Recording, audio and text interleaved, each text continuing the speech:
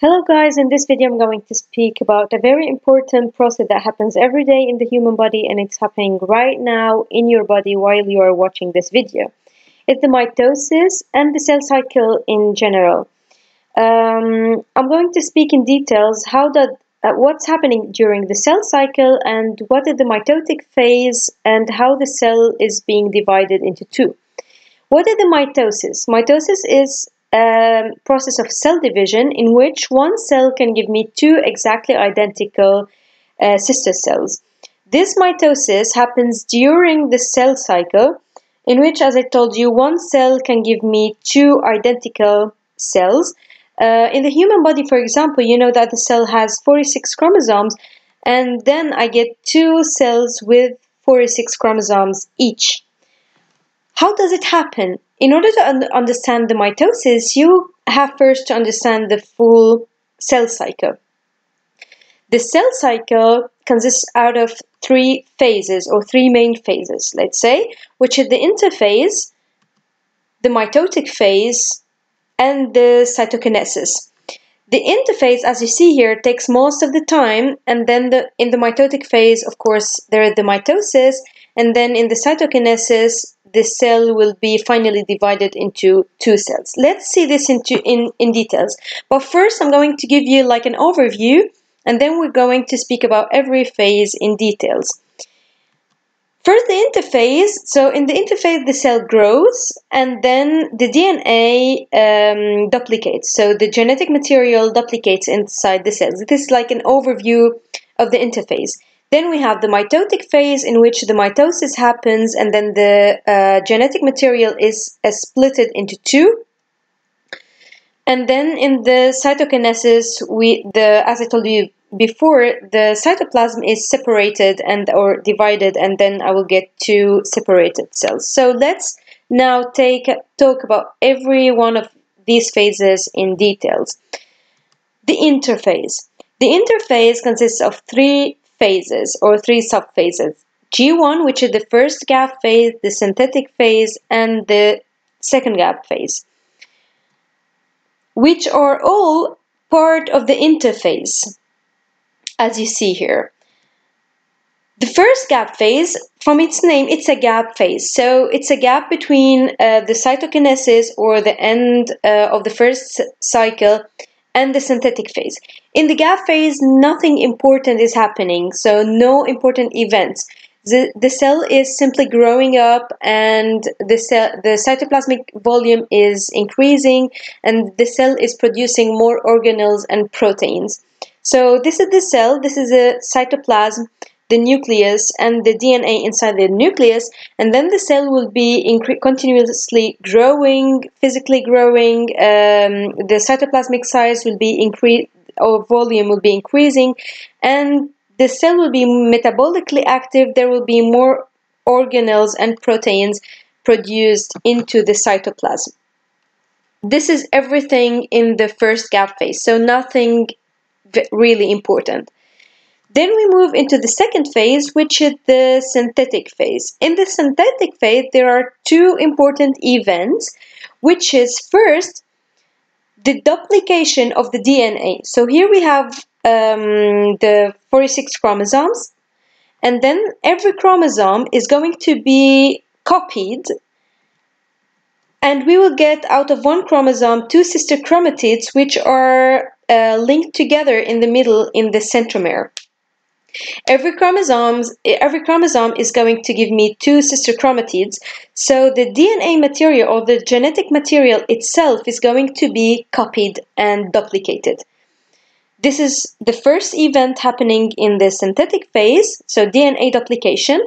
And second, the centrosome copying. We have a structure here called the centrosome, which is extremely important um, for the separation of the two sets of uh, DNA, and this is going to be happen later in the um, mitotic phase, so in the mitosis. And this structure, which is the centrosome, is going to be copied in the synthetic phase and is going to give me two centrosomes as you see here. So in the synthetic phase, first I'm getting two sets of DNA and then I'm getting two centrosomes I'm going to give you a little idea about the centrosome. This is the centrosome. Uh, they are structures of centrioles, and then these centrosomes can give or can produce microtubules. They can give microtubules out of tubulin subunits. So this centrosome can make the tubulin subunits together in order to give me these microtubules that are going to be used later in the mitotic phase to build this uh, spindle. And this mitotic spindle is extremely important, as I told you, or is essential in order to separate the DNA material or to separate the two sets of DNA. Okay, so let's go back to the synthetic phase. So in the synthetic phase, as I told you, um, I get two sets of DNA and two centrosomes. Then I'm going to the third phase in the interphase, which is the second gap phase. As I told you in the first gap phase, nothing important is happening in the gap phase. It is a gap phase, so no nothing is happening.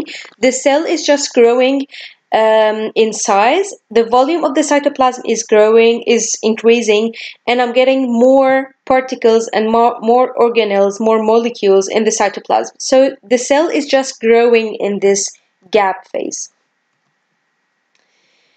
Okay, at the end of this G2, I'm getting to the end of the interphase. And when the G2 uh, phase ends, now the cell is ready to enter to the mitotic phase and to undergo mitosis. The interphase, as I told you before, takes most, most of the time in the cell cycle.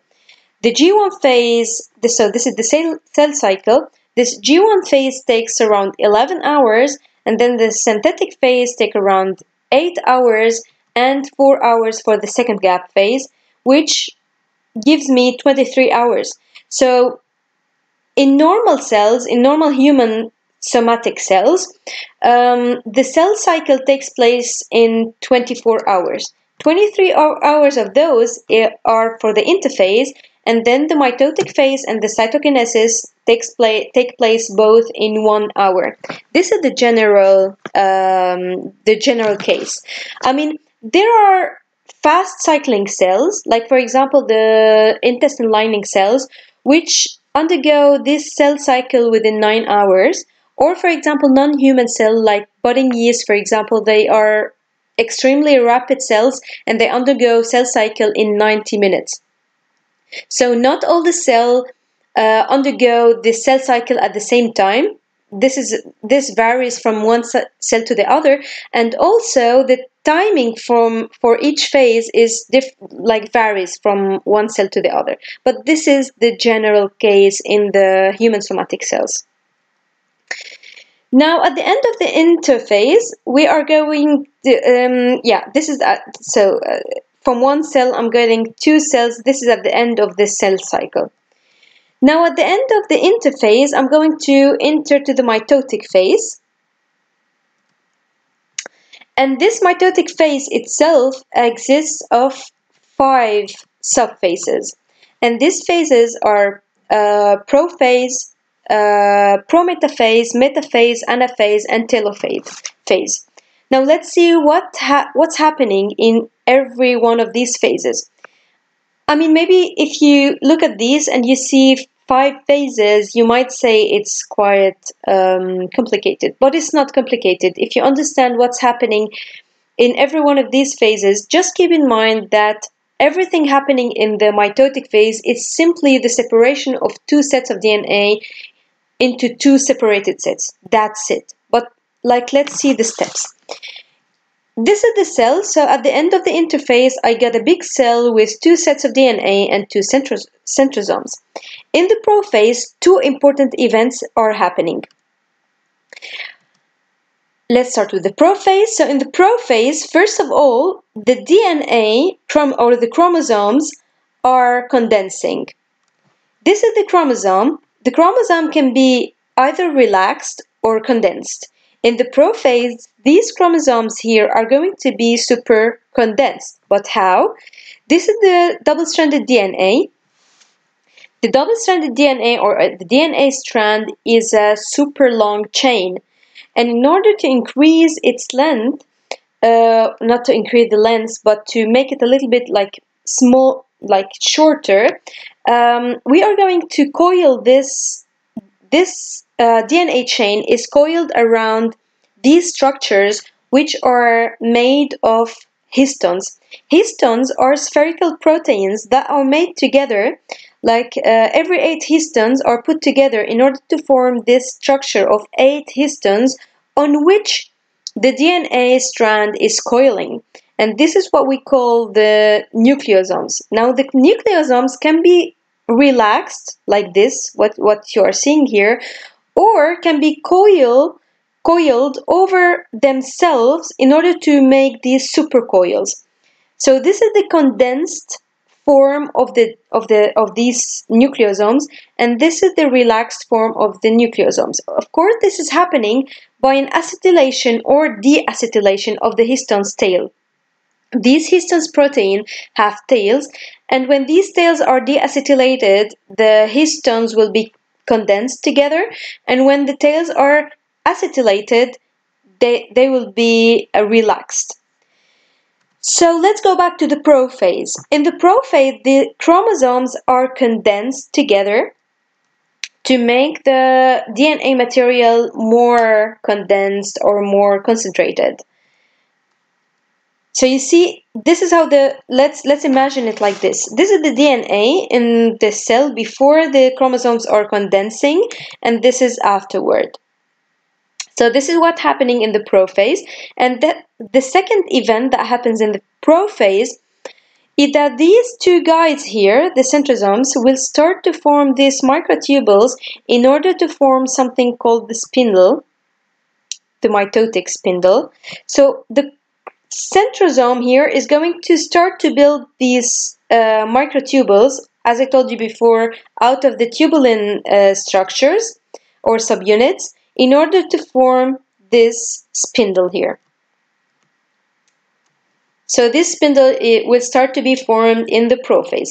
So as I told you, two important events in the prophase. The DNA or the chromosomes are condensed and the spindle will start to be formed. This is the prophase, simply. Now let's move to the prometaphase. In the prometaphase, the you have to look here. So the nuclear envelope is going to be boom disintegrated as you see here. And this happens because of the phosphorylation of the nuclear lamins, which is going to disintegrate this nuclear envelope. And this is needed to liberate actually the genetic material or the DNA from inside the nucleus because I want these chromosomes to be attached to this spindle so the nuclear envelope is disintegrated here.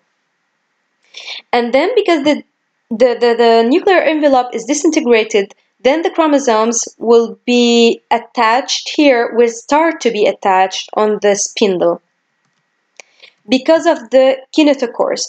The kinetochores are uh, proteins, they are disc-like proteins um, that exist on the spindle. So here on the on the microtubules here I have kinetochores and also on the chromosomes here in the centromere I also have uh, kinetochores. So the kinetochores which are on the microtubules here will recognize the kinetochores which are on the uh, centromere and these chromosomes are going to be attached on the spindle like this. Um, I'm going I'm going to, to this uh, figure always because it's a very good one. So the as I told you, yeah, the chromosomes are going to be attached on the spindle, and this is what happens in the prometaphase. So two important events uh, as well. So the nuclear envelope will be disintegrating, and then these um, chromosomes are going to be attached to the spindle by the kinetochores. In the metaphase, this is the metaphase. In the metaphase, the spindle will be um, will will be formed like this, and then the the chromosomes are going to be attached on the spindle. What's going to happen here is that these two centrosomes are going to pull the chromosomes from both poles or from both sides. sides. The pulling forces applied on both poles of the spindle are exactly uh, similar or um, yeah are equal. And because of this the chromosomes will be um, will be placed right in the middle of the spindle in a very straight line. Because the forces applied from the from both poles of the spindle are exactly the same so the centrosomes are going to apply pulling forces or equal pulling forces and this is why I'm going to get this which is called the metaphase plate which are the chromosomes placed right in the middle of the spindle in a straight line. This is what happens in the metaphase. At the end of metaphase here I have a checkpoint. In this check checkpoint the cell checks whether the two forces applied from the two centrosomes are uh, equal because this is very important in order to get exactly the same amount of DNA on both sides of the spindle later. This is the end of the metaphase and then the anaphase starts. In the anaphase, the two centrosomes will continue to apply these um, pulling forces which is going to separate every two chromatids from each other, like this. The separation of the two chromatids. So this is the chromosome. The chromosome is going to be attached to the microtubule, and then because of the pulling forces from both sides, these two sister chromatids are going to be separated from each other.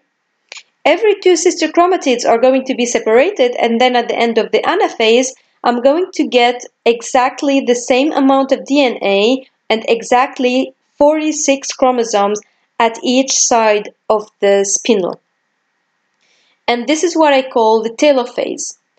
In the telophase, so as I told you before, I have on um, on both sides of the cell, I'm, I'm having one set of DNA at each side of the cell, and I have exactly 46 chromosomes at, in each set of DNA and one centromere and I don't have any spindle anymore because the microtubules are going to disintegrate after the separation of the DNA. The, mid, the mitotic phase or the uh, mitosis is simply the separation of the two sets of DNA. This is like in a very simple uh, term.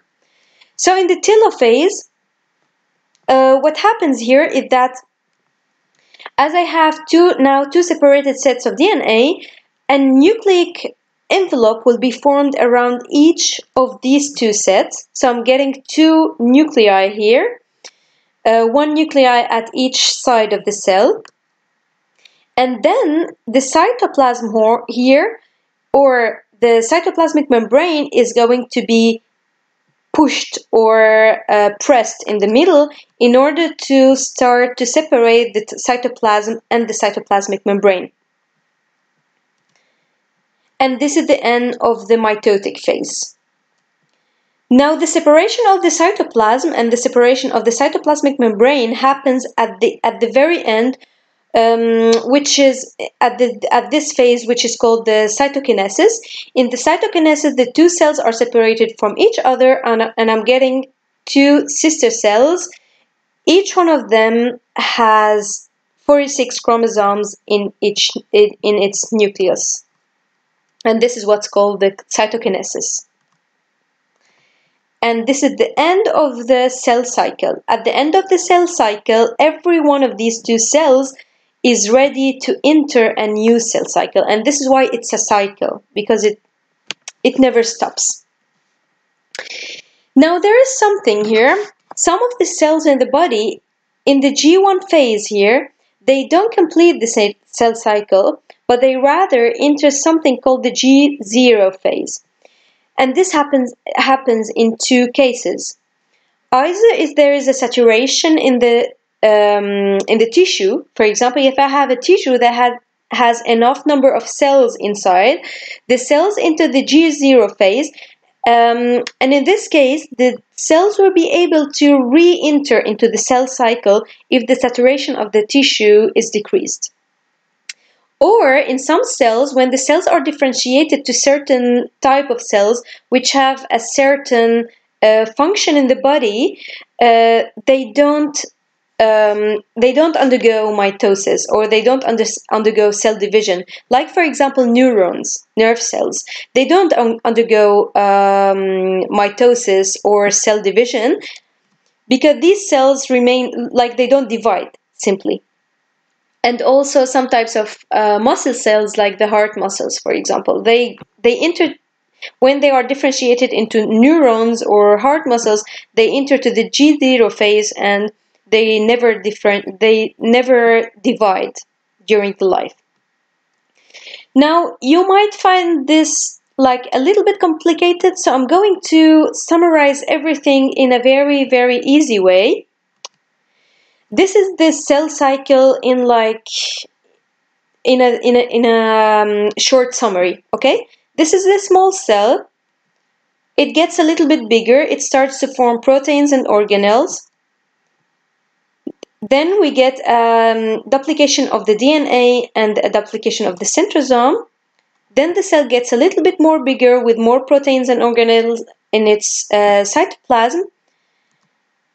Then the uh, DNA starts to con condense and then the spindle starts to form.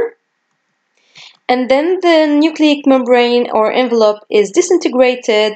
The chromosomes start to, uh, to be attached to the spindle the two centrosomes apply the force on the spindle and they pull the uh, chromosomes from both sides and then the two sister chromatids are separated here. We get two separated sets of DNA at each side of the cell.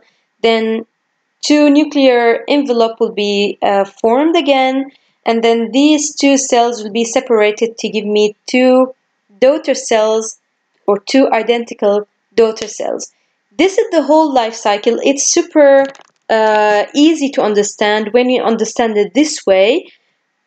And these are the steps. You know, this is the interphase here, G1, S, G2.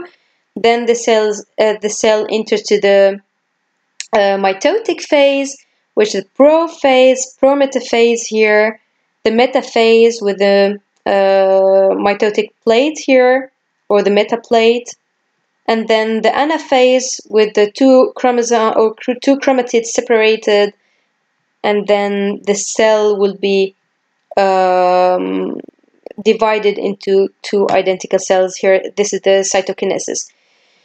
Yeah this is everything I wanted to tell you about uh, mitosis and cell cycle. I hope you find this easy to understand and um, interesting as well.